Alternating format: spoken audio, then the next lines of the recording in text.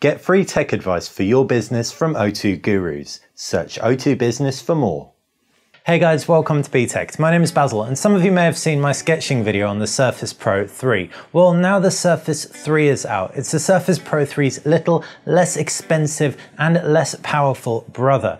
I say little, it's not exactly small, it's over 10 inches, so it gives you a decent sized canvas to doodle on. I use Autodesk Sketchbook generally, so that's what I did today. I haven't installed Photoshop on it yet, but will do ahead of the full review. A couple of disclaimers. We tried to get an illustrator in for this video, but unfortunately unfortunately couldn't, so I had to do it. I can therefore tell you firsthand it is at least as good as its predecessor or bigger brother. It's got an active stylus, that means it needs a battery, and it has 20, uh, 256 levels of pressure sensitivity.